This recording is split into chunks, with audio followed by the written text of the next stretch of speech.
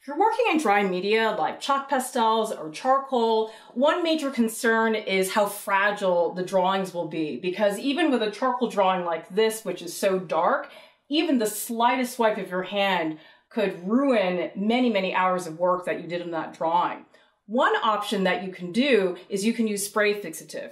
With spray fixative, you spray the entire surface of the drawing and the spray fixative gets the charcoal to adhere more strongly to the surface of the page, so it's a lot less likely to get smudged. Now, it's not perfect though, because even a drawing which has spray fixative on it can still get smudged and ruined, but it is much less likely that that's going to happen. The most important thing to know about spray fixative is that it's really toxic. Never ever spray it indoors. It's really dangerous. You have to make sure that you're outside spraying it there. That's really the only safe way to do it. Some people like to use aerosol hairspray instead of spray fixative because it's cheaper, it's not toxic, you can use it indoors. But the problem with aerosol hairspray is that it's not an archival material. So you don't know long term what the aerosol hairspray is going to do to your drawing. It could easily degrade over time. For that reason, I would stick with the spray fixative. There are two kinds of spray fixative. There's workable fixative and there's permanent fixative.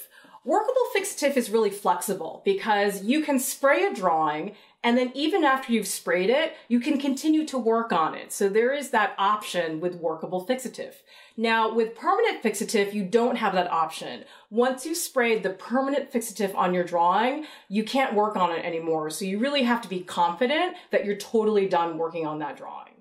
To use the spray fixative, you're going to take the bottle and you're going to hold it, I would say about six inches or so away from your drawing. You're going to go all across like this to make sure that you hit every single corner of the drawing. And you want to make sure that you're not using too much. Like I pretty much just do one pass over the whole drawing. That's enough. I mean, if you get to the point where your drawing's wet, that's way, way too much. I mean, really a little bit of fixative goes a long way. So you shouldn't feel that you really need to overdo it.